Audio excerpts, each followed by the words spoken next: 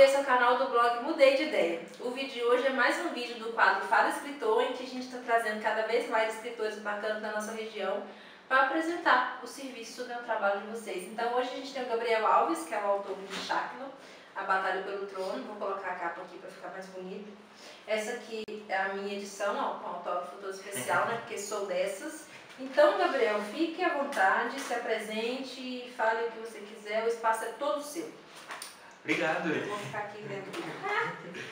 Gente, eu sou o Gabriel, sou autor do Chakra, a Batalha pelo Trono, como a Ana disse. É, a Batalha pelo Trono é. a Batalha pelo Trono é a primeira edição, a primeira, o primeiro volume da série Chakra, né? A gente pretende ser uma tetralogia, aí quatro livros. E. Enfim, uma ficção fantástica, né? Voltada para o jovem adulto. A primeira ficção fantástica que a Ana disse que leu. Então, É, eu nunca tinha lido nada desse tipo. tive a honra de ser a primeira, primeira ficção dessa. E gostei, tô guardando a, continuidade, a continuação, assim, com bastante... É, e eu tô esperando dinheiro pra continuação. Mas, então, Chacla conta a história de um garoto chamado Pedro, ele é órfão, tem 15 anos, ele vive no orfanato carioca, né, no Rio de, carioca, no Rio de Janeiro. É, desde que ele nasceu, ele, não, ele desconhece o motivo pelo qual ele foi deixado lá e tudo mais. Daí quando o Pedro completa 15 anos de idade, algumas coisas meio que diferentes começam a acontecer no orfanato, né, algumas pessoas desaparecem e tudo mais. E nessa confusão toda ele recebe uma carta dos pais dele, que até então ele desconhece, onde eles revelam para ele a verdadeira identidade e a origem dele. Ele descobre que na verdade ele é nascido numa dimensão que é paralela à nossa, onde nós humanos vivemos, que é Shakla. Né? Já? humanas vivemos. ele foi nascido lá e criado aqui com o intuito de se fortalecer e retornar para lá ao completar 15 anos de idade para cumprir meio que um, uma missão, o que o destino reservou para ele. Né? E o povo dele tem ciência disso, o povo dele está aguardando ele para isso. Tem história gira basicamente em torno disso. Né? Shakla que é, vem do árabe, quer dizer lugar agradável, bom de se viver e tal. E daí a ideia de ser um lugar onde a presença humana não é permitida. Né? A gente trata um pouco da questão de que a natureza humana em si é ruim, é, é, tem essa questão de. é maléfica é, por si só, é naturalmente maléfica, né? E a Shakla quer dizer um lugar agradável, um lugar bom para se viver, justamente por se diferenciar da, da dimensão da qual nós humanos vivemos. E por isso a nossa presença não é toda tolerada por lá. E, É isso. e de onde que surgiu a ideia de escrever literatura fantástica? Eu sempre gostei muito de fantasia. Eu acho que é a, a melhor forma de criticar a realidade é fazer uma analogia ao que não é real, sabe? Porque a fantasia é sempre um reflexo da realidade de alguma forma. Tanto a gente trata de alguns assuntos é, no livro justamente fazendo um, um paralelo com a realidade, né? A sociedade, o contexto social, enfim. Então foi, foi por isso. Eu sempre gostei muito. E quantos anos que você tinha quando você escreveu? Você escreveu e ficou um tempo parado, não Foi. foi? Então, na verdade, eu comecei a rascunhar chácara com 10 anos de idade, mas não tinha história, não era nada. Era até história engraçada. Pra ver assim, o meu pai ele gosta muito de futebol. Muito futebol. E eu não gosto de futebol, nunca gostei de futebol. Nem de esporte nenhum. Sedentário 100%. Total, Total. a bola. E, e como meu pai, quando eu completei 10 anos, meu pai meio que me incentivou a começar a treinar futsal. Pra ver se eu ia gostar e tudo mais. Fui eu treinar futsal. E não gostei de futsal. E lá, eu, eu era muito sem jeito pra bola, pra não sei o que. Essa ideia assim, né? Pois é. E eu preferia ficar no gol, porque as pessoas do gol, na minha opinião, na minha cabeça de criança de 10 anos, o gol não corre, não sua, não tem esforço físico, não tem nada, Ah, fica mais parado. Então eu ficar no gol. né? Só que pra agarrar eu também não servia, né? Então, É. assim, inútil mesmo. E tipo, os meninos caçoavam muito de mim. E como eu, como eu era criança naquela época, eles riam e tal, e me xingavam e tal. Na, na mentalidade de criança, aquilo mexe com a gente, né? Tipo, tô num contexto em que eu precisava ser bom nisso e não sou. E as pessoas começam a rir de mim por conta disso. Hoje eu falo disso de forma tranquila, não cresci, não me afeta em nada. Mas na época era muito chato. E teve um dia que eu tava no campeonato, eu pedi pra ficar no gol, porque não era, não corria. né? Aí- não corre no sul, não vai o quê? E aí eu passou, fizeram um, dois, três gols em mim, e o pessoal do meu time começou a gritar pra comigo. Aí eu falei, quer saber? Aí eu fiz, cruzei as duas pernas assim e sentei no gol, falei, assim, não vou agarrar é nada. Aí o treinador falou, vocês têm que agarrar. Eu falei assim, não vou agarrar nada. Aí eu falei, então sai do campo. Cada pirraça. Muito pirracenta. Aí eu saí e eu não voltei pro futebol mais. Eu falei meu pai, não gosto de futebol, não vou treinar futsal mais. E comecei a rascunhar sobre um lugar onde as pessoas seriam aceitas mesmo se elas não se encaixassem em um contexto que as pessoas estavam obrigando a que elas se encaixassem. Daí o link com um lugar bom, um lugar agradável de se viver. Hum. Mas até então a história é boba de criança, é só um lugar que chama chácara, ponto. E à medida que eu fui crescendo, eu fui criando um contexto social, político, geográfico, personagens e uma história por trás dentro desse lugar que eu já tinha criado quando criança. E aí nasceu o Chácara Batalha pelo Trono. gente. É, essa E quais são os próximos passos agora da Cháquila? Porque esse aqui é o primeiro. É o primeiro. Qual é a previsão? É um por ano?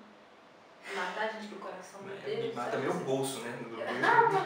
Haja ansiedade. Então, eu pretendo lançar o segundo esse ano, né? Acho que é a segunda vez que eu tô falando disso, as pessoas vão começar a me cobrar isso, porque eu já vi. eu já tô cobrando. Ah, tá oficial aqui, real oficial.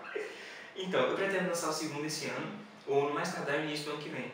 Né? Uma continuação, e que já está escrita, né? já está já tá pronta. Só que ela, ela se difere um pouquinho dessa, porque essa tem o Pedro, que é o protagonista, como tema central. Tudo gira em torno dele, por ele, na preparação dele pela batalha pelo trono. Né? O segundo, o Pedro é obviamente importante, porque não é o livro narrado na primeira pessoa, ele quem conta, mas é a visão dele sobre um fato em que ele não é protagonista. Sabe? Tem outra pessoa, a história gira em, torno de outra pessoa, de outro personagem. E esse personagem tem uma participação muito importante para decorrer tanto para algumas perguntas que ficam pendentes no primeiro e para perguntas que surgirão no terceiro e dá um norte para todo o restante da história. Então é, eu estou muito animado, é o meu preferido da série. Eu tenho, não, o terceiro, por exemplo, não é escrito, mas eu tenho, eu tenho os tópicos, né? E é o meu preferido da série e eu estou muito animado para o lançamento. Gente, eu acho muito curioso a pessoa conseguir pensar em tanta coisa, tanto. Porque a minha dificuldade de ler fantasia é pensar naquele monte de objeto, coisa diferente.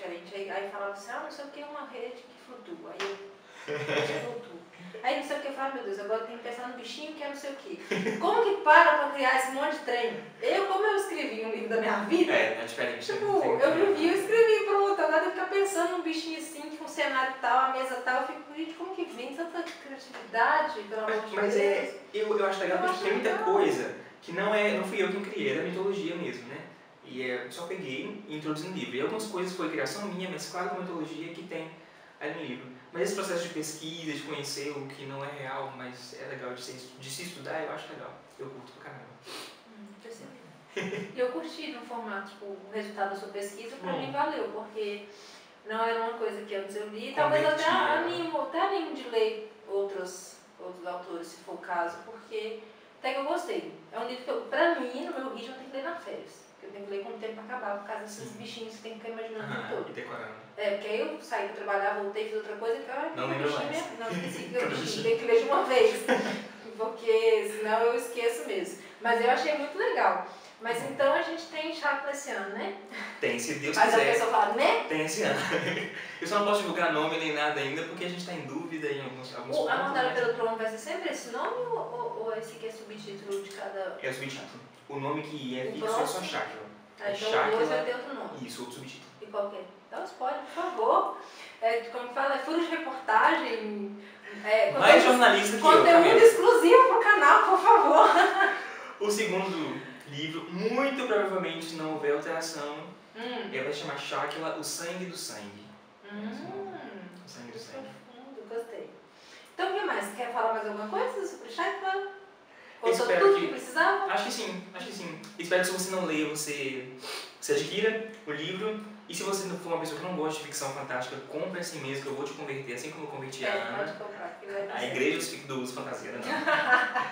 E é isso, espero que as pessoas gostem e consigam absorver, além da história, a mensagem que tem por trás de, de, de autoaceitação, de autoconhecimento, por trás, e tirar algum proveito, né? Eu já recebi mensagens de pessoa, porque tipo, esse não é um livro de, não é um livro de gênero literário que as pessoas chegam, como já chega no seu, por exemplo, tipo, nossa, esse livro vai me ajudar a entender isso na minha vida, assim, vai- porque é um propósito, é o propósito do livro. É. No meu não. E eu já recebi mensagem de pessoas tipo, caramba, eu consegui é, me entender, tipo assim, que eu não preciso ser aquilo que as pessoas esperam que eu seja naquele contexto e, e sabe, eu achei isso tão legal, sabe, tipo, gente, não é, isso não é claro no livro, é bem implícito. E a pessoa conseguiu absorver isso. Essa pessoa deve ter imaginação igual a sua. Deve ter Vai se é, identificar tanto com É, um paralelo sim, do. Adorei a história do Pirraça no gol. sentei e falei, não vou Foi nada. super exclusivo também. Então é isso, gente. Espero que vocês tenham gostado de conhecer um pouco do Gabriel. É, vou deixar aqui na descrição dos vídeos os links desse para vocês continuarem acompanhando Isso. também o material e o lançamento. Quando tiver também o lançamento do segundo, com certeza vai ser anunciado aqui no blog, Isso. porque sou fã, acompanho sempre agora Ah, mesmo, não isso. deixo perder. Recíproco. Então é isso. Então não se, não se, assim, se inscrever no canal caso você não seja inscrito. Já gostei. É, dá um gostei para ajudar, compartilhe com seus amigos e até o próximo vídeo. Tchauzinho! Até mais.